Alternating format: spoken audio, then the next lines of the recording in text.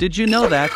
In Brazil, the millionaire Chiquinho Scarpa announced on Facebook that he was going to bury his Bentley that was worth more than $500,000 to be able to drive it after his death.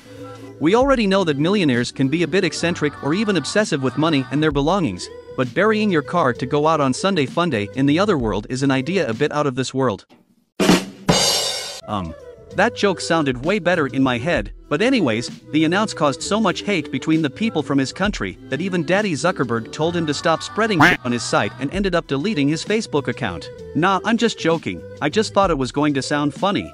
The day of the event and just before they buried his car, he stopped them all and told them that it was just an organ donation campaign, since most people bury their organs with them and they are much more valuable than any luxurious car. And that's how he shut everyone's mouth, plus he shoved on our faces that he had a Bentley.